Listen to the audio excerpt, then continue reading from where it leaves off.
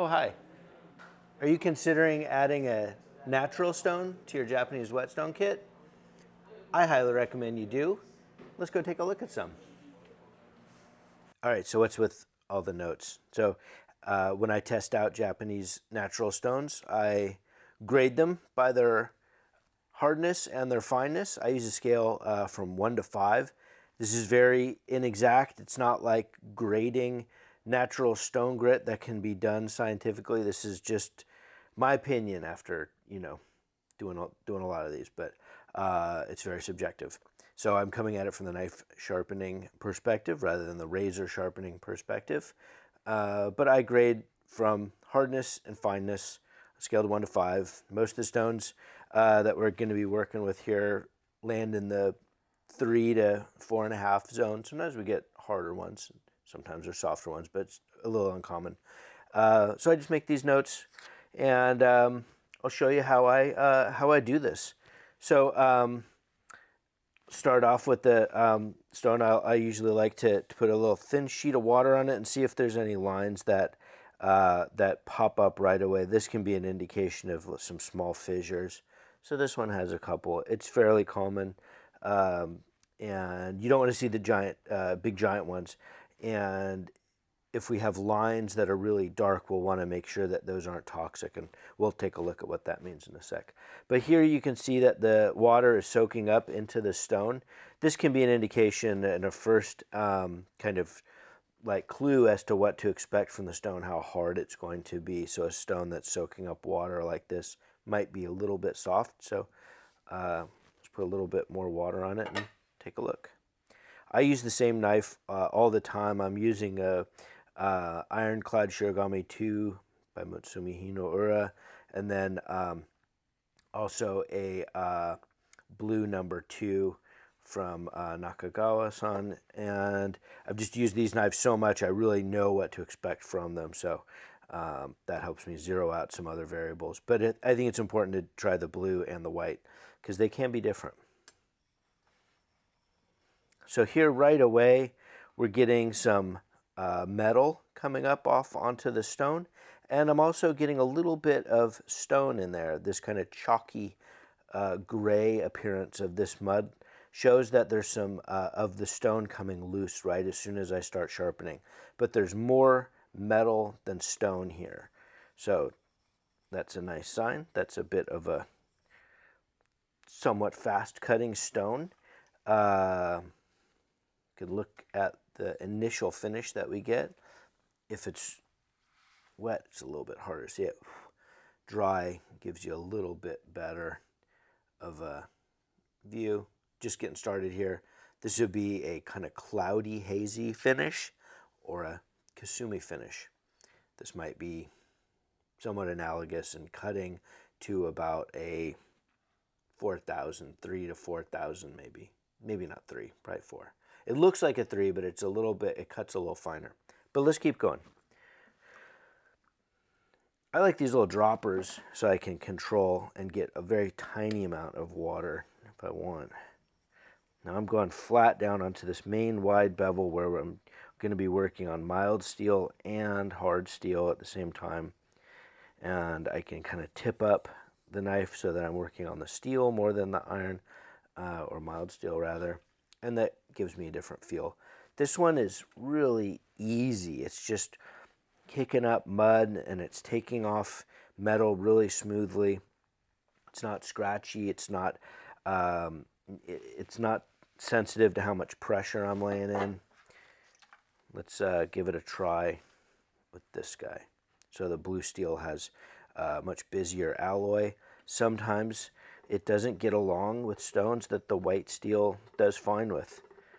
It is a bit more wear reactive, and so initially we can see we get just a little bit less metal coming up onto the stone, but it's still going going nicely. It's not feeling scratchy. It's not feeling, uh, you know, like it needs some finessing. This is, I'm putting some pressure down now, and stones can be very sensitive to pressure. This one didn't feel uh, gritty or scratchy with a lot of pressure. Let's take a look at our finish here. And this is a nice hazy finish. This is what these stones are famous for.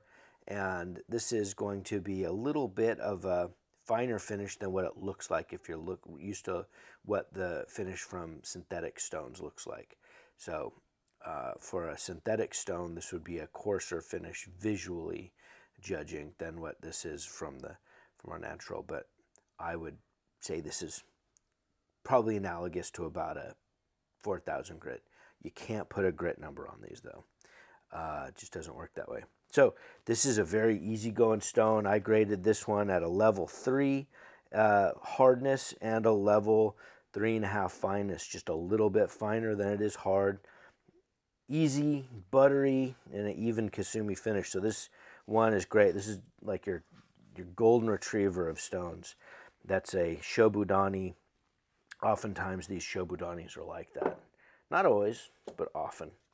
All right, so this is a little bit on the other end of the spectrum here from what I found uh, with this little batch of stones. This is a Iwatani. Um, sometimes these are harder than the Shobus, but uh, not always. Put a little water on there, see, see what we get. There's a couple little tiny lines, and those would be some tiny little fissures. Uh, if those are really like angled off the corner, sometimes that can indicate a problem later down the road. Little chips can come off of stones. You can glue them back, but it's nice to see this stuff if it's there. Um, there's nothing here that's really worrying me though. So let's give it a shot.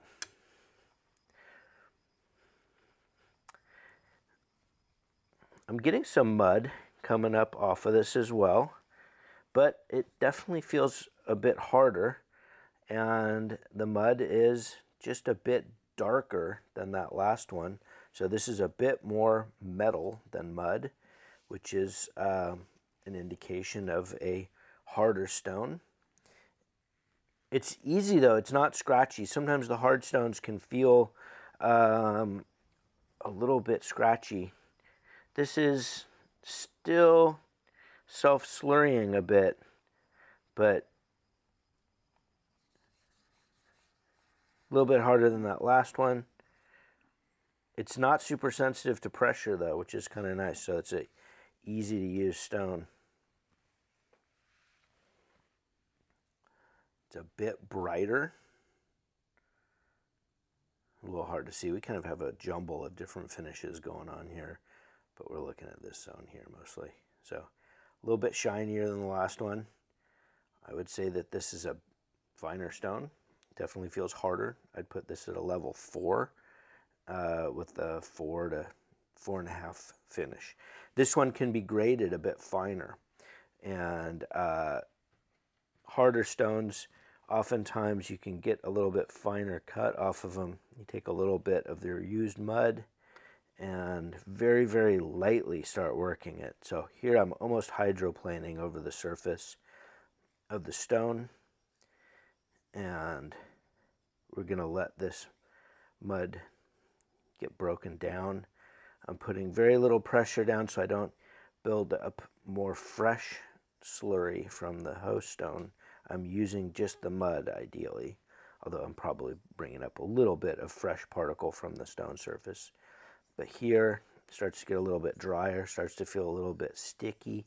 And this is where it starts to get a little bit finer on a harder stone often. Not every stone will do this, but this one does. So you can see here, this mud is very chalky and dry. I stopped before it started getting kind of choppy, and you got to be very careful with your pressure at this point. And this got it a little bit finer. Not a huge amount, but a, a bit more. It's getting into this kind of sub-mirror territory here. But this is a really easy stone to use still. Um, sometimes stones at this hardness level can be a little sensitive to pressure. Let's give it a shot with the Aogami and see if it's as consistent. So the one thing with natural stones that they vary a lot from synthetics is that synthetic stones cut pretty much the same across different steel types, barring really weird alloys.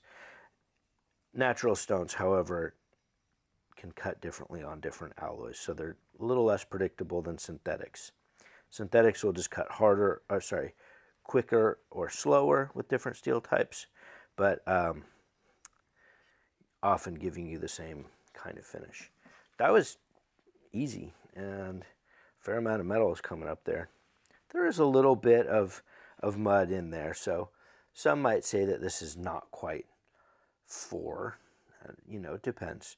For a razor sharpener, maybe this is softer than what I think of it as for a, as a knife sharpener, but again, it's kind of subjective. But um, pretty bright, hazy finish here.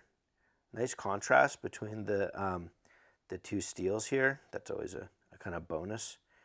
And um, yeah, that's a really lovely finish, and that felt really nice on this blue steel. That's a that's a great stone. So here's a stone that has this black line on it. And sometimes these are a mineral deposit in the stone that can be hard and scratchy. So in order for us to ascertain whether this is going to be a problem, we'll go ahead and take the edge of our knife see if we can catch it on there. If it feels hard and if it feels like you're hitting something mineralized, then it's going to need to get scratched out. Initially here, I don't feel anything. You can also sharpen over it and see if it uh, scratches your uh, finish. So you'll feel a kind of grittiness on these. I'm not, I'm not picking up anything. It's possible that further into the stone, it's harder and it needs to be scratched up, but here, no problem. So there's Japanese names for all these things that we've been talking about. And if you want to learn the Japanese names, that's awesome. You don't have to to use these. I think a lot of people feel intimidated by Japanese stones that they need to learn tons of different uh, names of the different mines, the different strata levels of the stones, the appearance of the stones. Um, it, you know, it can have a, a really long name when you add up all of these things. But really, ultimately, what's important is how hard is the stone? How fine is the stone? Does it get along with a variety of steels? Does it, um, you know, how easy is it to work? And this is the, the question if you're looking to start using these, that's important. The great thing about these is not just the aesthetics of the finish they make, and the finishes are really beautiful, but the most important thing from my perspective is that the cutting feel and the edge life of these edges is really phenomenal. So natural stones are made up of little radiolarian uh, skeletons. These are the skeletons of single celled animals that have a silica uh, skeleton. They're kind of like a little glass snowflake, essentially. These all settled to the bottom of the seafloor many millions of years ago, uh, and these rocks were formed, and they weren't uh, compacted uh, so much that they became glassy like uh, like flint. They stayed like a hard mud and can be used as a sharpening stone. And these clumps work together uh, in sorry, these particles work together in clumps or singly.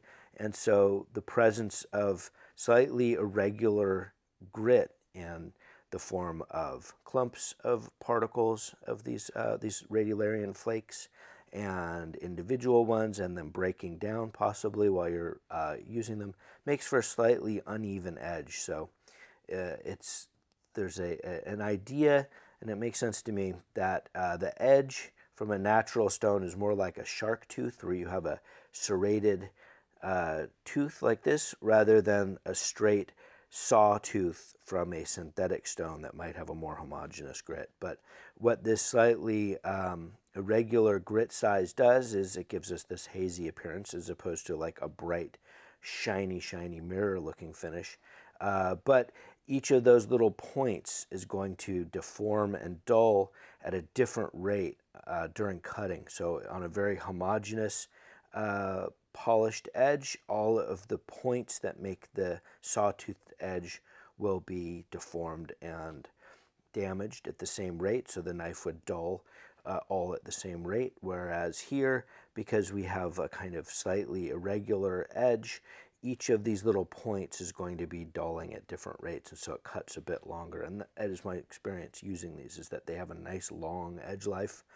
Um, but the only thing is they don't work with all steels. They don't work with some stainless steels that have really obnoxious, uh, super high alloy contents. Um, so they're not super predictable. But if you're using carbon steels, if you're using uh, a lot of Japanese knives, and this can include a lot of stainless knives, just go a little bit softer with your stones if you're looking to use natural stones on your uh, Japanese stainless knives. It can be a really, really wonderful cutting feel. Uh, these last a super long time. They seem a bit more expensive than synthetics, but these wear much, much slower than synthetics because they are essentially all grit rather than a synthetic stone, which is grit and binder. But I uh, hope that helps get you started. Highly recommend jumping in here. You don't have to spend a gang of money to get a great stone. These little koppa or offset, off uh, size stones can be a really great way to start. And um, yeah, recommend them highly. Thanks for watching.